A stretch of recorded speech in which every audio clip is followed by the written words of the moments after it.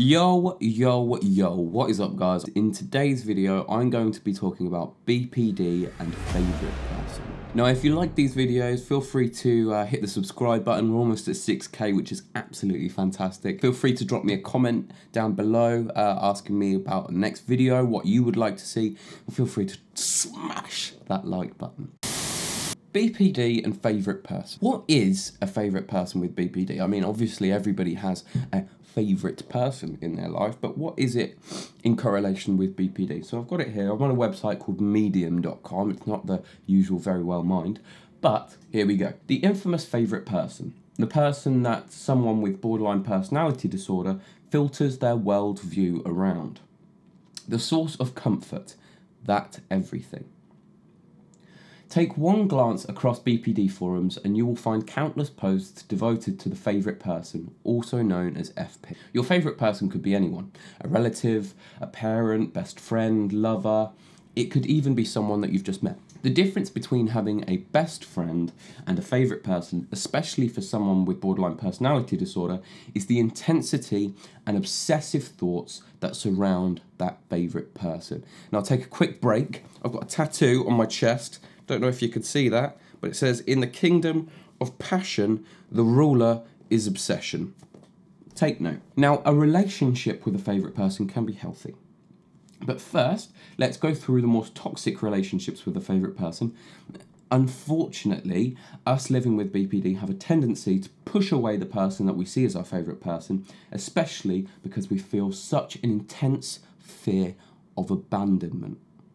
Now, this lines up perfectly with how I am as a person. So, in my experience of favourite person, I would say currently my favourite person at the moment is my girlfriend, and I think she's very aware of that. Now, the biggest problem with favourite person is this big switch. It's almost like splitting in a sense where you idealize this person, you don't you can't take them down from their throne.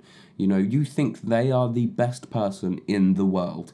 So when they do anything to counteract that, if they do something to upset you, if they dishearten you in any way, it can very quickly switch completely on its head. And I can say from my own personal experiences, I have had feelings of this, and it almost feels not uncontrollable, but very overwhelming and consuming. When these things happen, you feel like you have to act on those emotions straight away, which I would highly advise against because when the, the favourite person gets flipped on its head and it, you then start to, to detest them, that can again very quickly switch on its head again and they will become back to your favourite person. I would say don't act on those feelings of, of fear of abandonment. Do your best to sit through them and, and think through them and be calm and, and, and cautious and, and careful because what you actually don't want to do is end up pushing away your favourite person and then causing damages, especially if it's with a best friend, partner, family member. It could be very, very, very um, tragic. So, what is favourite person when you have borderline personality disorder? When you have borderline personality disorder, your favourite person is the person that you're emotionally dependent on. There is a constant fear that this person is going to leave your life, and you devote the majority of your time and day to the needs of the person. There is a great comparison that when you have borderline personality disorder, you are like a puppy that doesn't want its owner to leave. the favourite person is the owner that you are begging to stay. When they leave, even though you are lo- you logically know they are going to come back, you destroy everything and throw a tantrum. Then, when the favourite person returns, you act like nothing happened. In an extreme and often toxic case of being with a favourite person, this is a pretty classic example. Other examples of what it's like having a favourite person whilst having border personality disorder feeling a surge of jealousy when the favourite person spends time with another person or compliments another person. Changing your thoughts or opinions to match your favourite person's thoughts and opinions switching between idealizing the favorite person and devaluing the favorite person in a matter of seconds. Again, take note of that one.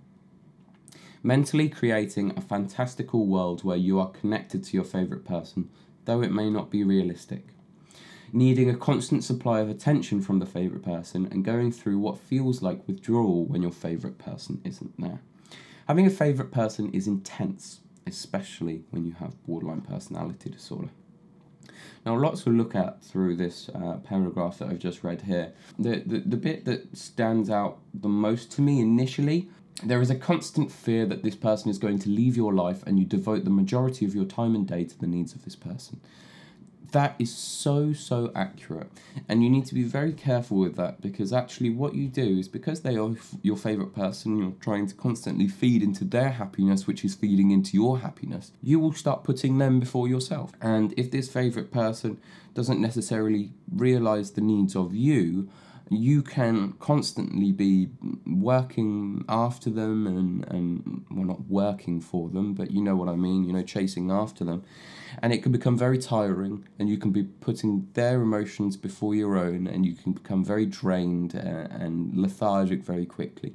So be careful about working to their every need. Be be mindful to put yourself first so that you can approach them in a better, more happy, positive mood. In my my own uh, experience of this favorite person, like I said, my favorite person is my girlfriend. I also have a condition called REM sleep disorder, which I don't know if you guys know about, but if you don't, I'll leave a link up here. But REM sleep disorder basically means that I dream a lot, and a lot of my dreams are nightmares, unfortunately. And now in these nightmares, I would say about 75%, 85% of my dreams revolve around my favorite person and they revolve around my favourite person abandoning me. That will be them cheating on me, um, sleeping with my friends, uh, me uh, attacking them and then they leave, or them breaking up with me and not getting back with me and me absolutely begging and they're just having none of it. And those are the sort of dreams that I have, which is interesting because, you know, dreams are made from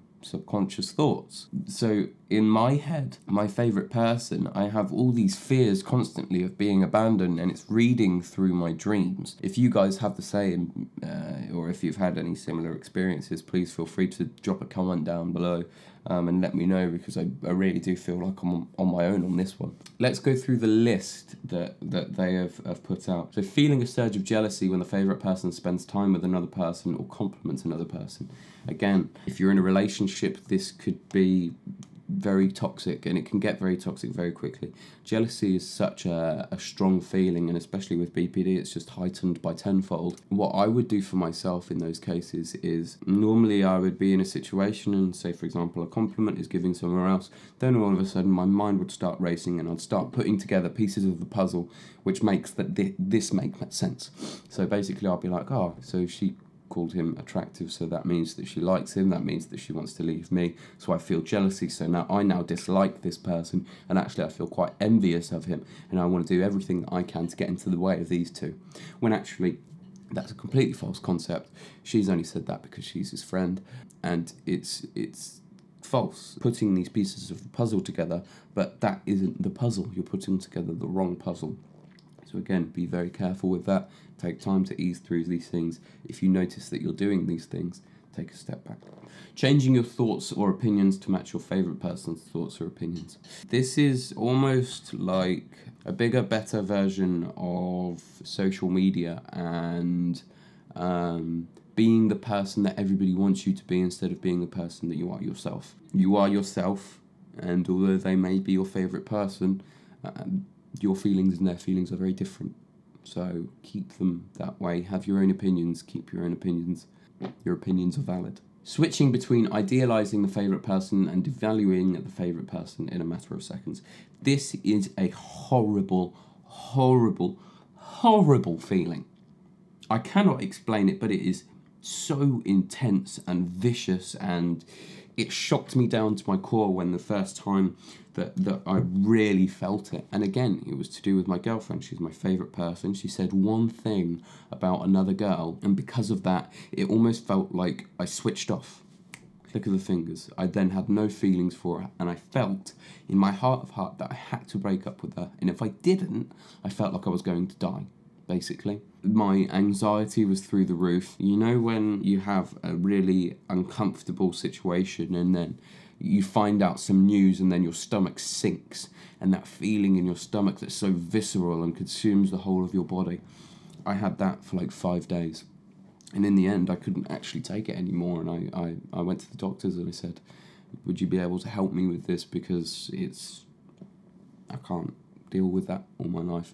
I don't know how to get around this, and I don't know if I can necessarily help you with this, but from my experience, what it's best to do is to get to the end of it and get through that feeling before you make any decisions. Because with BPD, we feel like we have to react straight away to um, what's happening in front of us when actually, no, we need to have time to think, to react, to build a logical way of of getting through this and then deliver your answer mentally creating a fantastical world where you're connected to your favorite person though it may not be realistic um, unfortunately, I don't have much experience of this, but again, let me know down in the comments if you do have any experience of this. It would be lovely for me to sort of find some information out.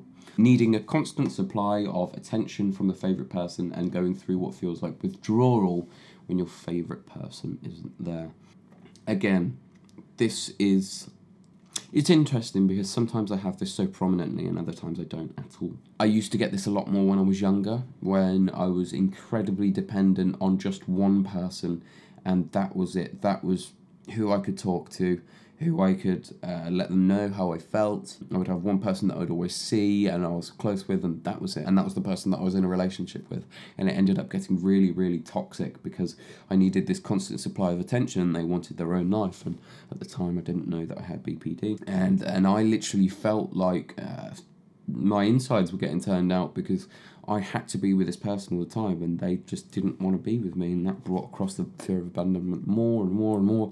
So what I would suggest to you guys is just try and find more people to talk to. You know, friends, family, uh, loved ones, even people on the internet, me, it can be anybody, but just find someone outside of your favourite person that you're able to talk to, that you're comfortable with, because if things ever start going a little bit sour, then you always have someone that you're able to talk to and, and share those feelings with. So, here we go. Keeping your relationship with your favourite person healthy. You can definitely have a healthy relationship with your favourite person.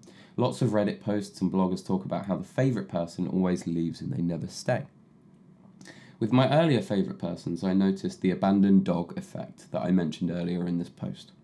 I would get upset and throw a tantrum if they weren't giving me enough tension and have a fit until they came back. This is manipulative and impulsive manipulative, and impulsive. Remember that because it is.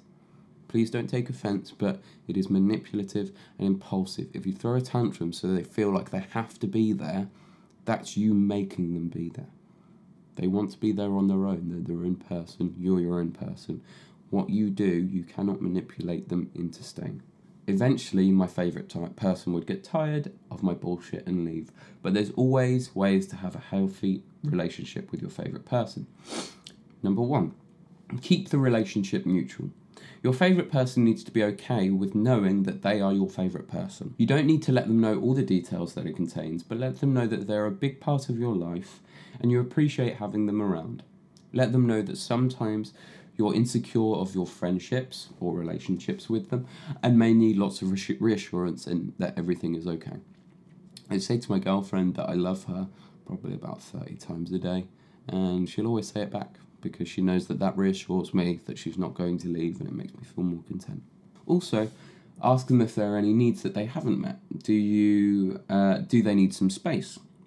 I know that it's terrifying to give your favourite person some space, but giving them some room to breathe is actually respecting their boundaries. Again, this comes back to what I'm saying. You cannot manipulate them. If they want to go, you let them be and just, so you know, take some time to breathe yourself. Let them breathe, and, and hopefully things can come together again and be better. A relationship with your favourite person needs to be built on mutual respect and care, and it needs to be care with your favorite person, they need to be emotionally intelligent because you are emotionally intelligent. This is what BPD is. You're just good at reading emotions. So you need to find someone that corresponds with that and, you know, isn't isn't brutal to you when you have these emotional times and doesn't disregard them and make you feel stupid because of them. You want to feel cared about and loved and, and reassured and helped so yeah, make sure that you're you're trying to find the right people. And if you don't have the right people right now, that is completely fine because friends will always come around. You'll always find more people. There's always more people to be bet. Never make assumptions. Assumptions make an ass out of you and me. Assumptions are the devil when it comes to having a relationship with a favourite person. The borderline brain likes to think in black and white, saying that this person hates me, or they're leaving me forever, or they're the worst. If your favourite person hasn't texted in a while, ask them, hey, is everything alright? I'm just worried because I haven't heard from you in a while. If your favourite person hasn't made time for you lately, respect that they're busy. Don't make the assumption that they hate you, because again, this comes back to that thing that I was saying of piecing together a puzzle and you're piecing together the wrong puzzle your brain is making things up that could be true, but just remember they could be true. It doesn't mean they are true, they could be true. So do your best not to believe them. Wait until you found out the actual information and then react to that. Assuming the worst will bring out sides of you that will lash out and throw tantrums, to test your favourite person, you want to make sure that they don't leave. Don't give in to that emotional temptation. Do not emotionally blackmail. Do not emotionally manipulate.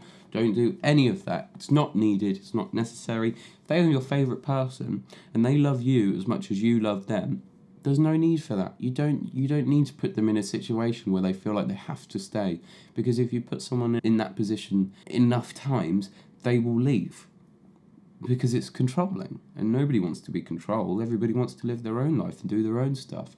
When you feel like you have to constantly be coming back to this this thing that requires so much of you and and you not you don't even necessarily feel like you're getting that much back it's it's going to go downhill. So like i said do your best not to give in to these emotional whims this impulsivity that bpd is is mm, situated around. Just take things calm, give time.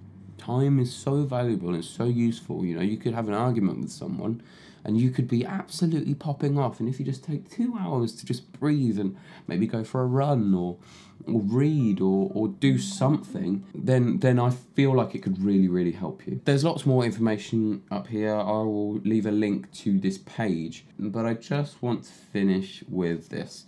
There is a bad side to the favourite person if you don't realise that you have a favourite person and you don't realise that you're manipulating or being controlling in any way. So I guess the moral of this video is to be very, very, very aware that we are very strong in terms of our emotions and our emotions do a lot of the time control us. But we must remember that emotions don't control us, we control them. So when it comes to these favourite person situations and things start going a little bit wrong, take your time, breathe, just be slow, be steady, be calm. They're your favourite person, you don't want to leave them, you don't want them to leave you. You don't want any reason for them to, to find a reason to hitch up and ship. So please, for for you, I, I just need you to be smart about this. Just be happy. I, I hope this video helped in, in some sort of sense. Favourite person is an interesting one because it's the best thing and it's the worst thing in the world, but it's just part of us. So embrace it, accept it, and uh, let's move forward. I shall see you guys in the next video. Lots of love. I'll going to do some exercise bits and bobs, but I'll also throw up some BPD stuff as well. Um, so yeah, lots of love. I hope you guys enjoyed the video. Make, make sure to subscribe, comment, and like. I shall see you in a bit.